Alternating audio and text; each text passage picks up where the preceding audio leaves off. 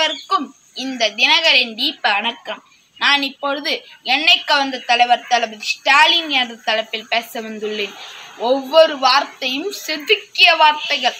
கலைஞர் கலைஞர் ஓர் பயிற்சி பட்டறை. அன்றைக்கே நம் தளபதி அவர்களை செயல் தலைவராக்கி அழகு பார்த்தவர் தான் நம் கலைஞர் அவர்கள்.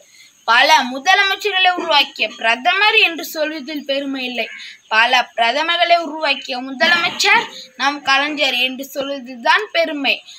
அப்படிப்பட்ட கலைஞரின் அரசியல் மாணவர் தளபதி ஸ்டாலின் கலைஞரே நீ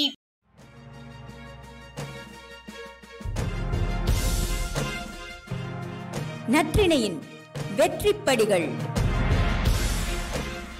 படைத்தது தளபதி என்றால் தளபதி படித்தது உண்மை உதயசூரியன் உன் சன். S U N. உழைப்புச் சூரியன் உன் சன். எஸ் ஓ என்.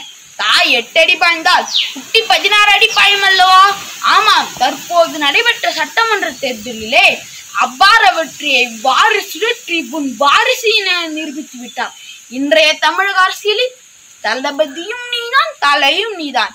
முன்பெல்லாம் பணத்தை நீட்டினால் மருத்துவ படிப்பு இப்பொழுதும் நீட்டினால் மருத்துவ படிப்பு. இப்படி நீட்டினால் நீட்டினால் மட்டுமே படிப்பு என்றால் என் மக்கள் என்ன செய்வார்கள்? ஏழை மக்களுக்காக நீட்டிற்கான போராட்டத்தை நீட்டித்துக் கொண்டிருக்கும் ஒரே தலைவர் நம் தளபதி அவர்கள். சென்னை மாகாணத்தை தமிழ்நாடு என்று மாற்றிய அறிஞர் அண்ணாவின் வழித்தோன்றல் கலைஞர். சென்னை எழில்மிகு நகரமாக மாற்ற கனவு கண்டார் கலைஞர். அக்கனவை நிறைவேற்றியது நாற்பத்தி நான்கு வயதில் நாற்பத்தி நான்காவது மேயராக பதவியேற்ற நம் தளபதி அவர்கள். தளபதி அவர்களை ஒரு கட்சியின் தலைவராக சுருக்கிவிட முடியாது. காரணம் ஒரு தலைவனுக்கு அழகு தொண்டன் போல் உழைத்தல்.